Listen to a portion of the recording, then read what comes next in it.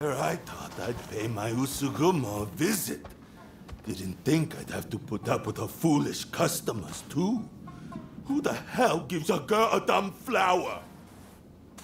How dare you? Miss Usugumo will not fraternize with the likes of you. Leave us at once.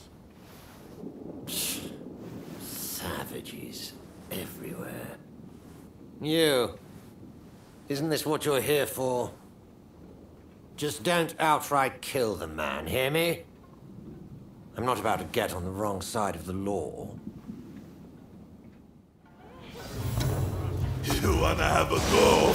All right, you asked for it.